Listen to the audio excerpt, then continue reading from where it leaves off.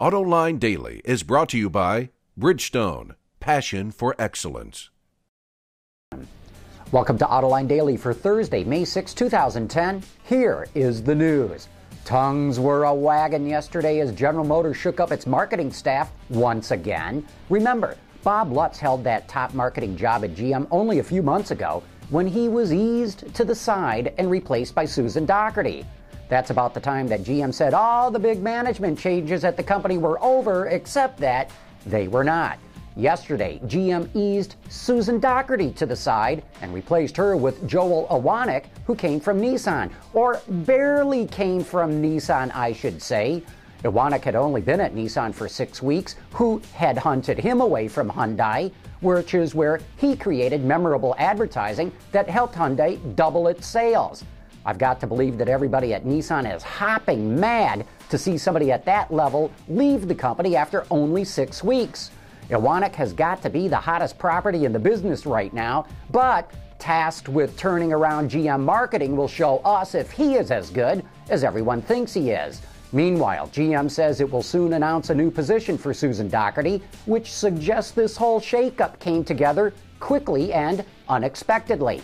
Otherwise, they would not be parking Docherty on the sidelines until they can figure out what to do with her.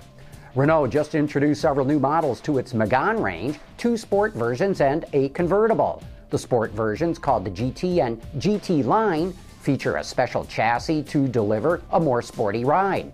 Both can be equipped with the current choice of engines in the Megane lineup. Additionally, the GT is available with two turbos, a diesel or a gas. The GT versions will be available in June. The convertible has new styling inside and out. It offers three gas engines or three diesels, which can be mated to a six speed manual, six speed dual clutch, or a CVT. But the most unique thing about the car is the folding panoramic roof, which Renault went with because it reduces wind noise and supposedly provides greater resale value. The convertible goes on sale in May. And in other Renault news, the company announced, along with its partner in India, Bajaj, that the two will develop a small car to compete with the Tata Nano. According to the AFP, the vehicle should be on the road by 2012 for a price of only $2,500.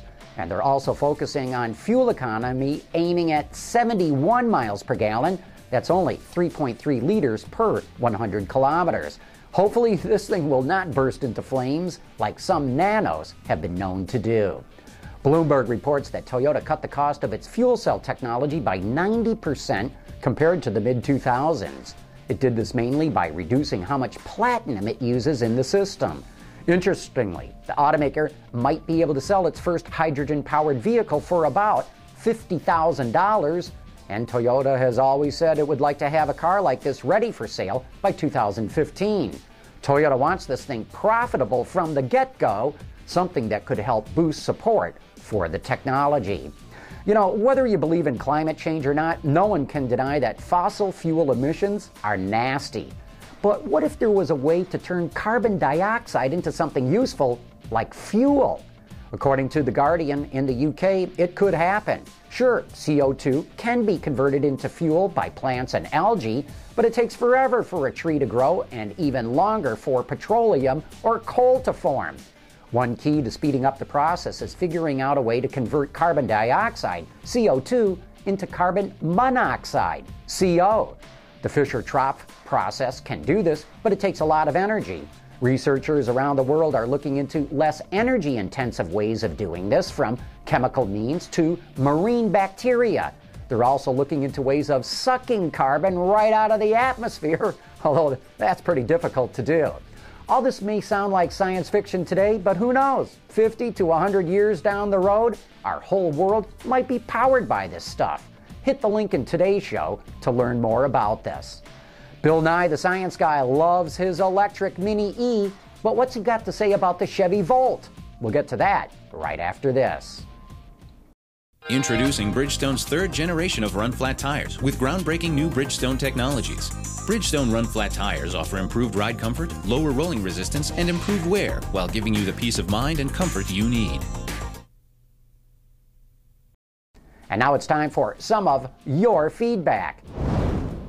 This is You Said It, where I get a chance to respond to some of your correspondence. Lex saw our interviews with Bill Nye, the science guy, who had a television program aimed at getting kids interested in science. We interviewed Nye to get his impressions of what it was like leasing an electric Mini E. But Lex wrote in to say, I want to ask Ed Whitacre, why isn't Bill Nye driving a Chevy Volt? Bill Nye is an excellent advocate for electric vehicles, especially one made in the USA. Well, Lex, turns out that we had asked Bill Nye what he thought about the Volt, so we went back to that interview and pulled this sound bite. I'll tell you what I'm excited about. I had the chance to drive the Chevy Volt prototype, and I would just as soon have that vehicle for a few reasons. It started out as, as an electric vehicle, so there's a whole bunch of details that are improved. You know, this car has no back seat, no trunk, no uh, place to put things. Uh, the um, Volt drove surprisingly well. It was at night and it was raining in Southern California, and so everything was quite slippery. Car performed very well. I was very impressed. And the amenities, the crazy kookball modern electronics, global positioning system, sat nav, whatever you call it, um, the display, the music, all was very, very good. So uh, the drivetrain looks pretty good. I was at a trade show, I was at the National Science Teacher Convention, uh, the United States' National Science Teachers Convention last week. And they had the display of the Volt. Uh, so this would be the Volt drivetrain uh, on sheet metal, essentially. And I looked at it pretty carefully. It looks very good. They made a couple decisions that I don't understand, but I'm not uh, working on these things full time. I'm not an engineer on these things full time. So I got a feeling somebody was thinking about it because it's the same bunch of people that did the EV1. And as we all say, everybody who had the use of the EV1 thought it was the greatest car ever. And what were they thinking when they discontinued it? So uh, if it's that same bunch of people giving it another 10 or 15 years of thought, it should be a really good car. And as a guy who grew up in the US, I would very much prefer uh, that the United States auto industry, although it's globalized, that the United States auto industry was making a comeback. I would really like that. I'd like to be part of that. Don't forget to tune in tonight for Autoline After Hours when our guest will be Chantel Lenard, Ford's Group Marketing Manager for global small and midsize cars. I know I'll have a lot of questions to ask her about how she plans to market the Ford Fiesta in the American market. As always, I'll be joined by the auto extremist himself, Peter DeLorenzo, and that encyclopedia of automotive information, David Welch from Business Week.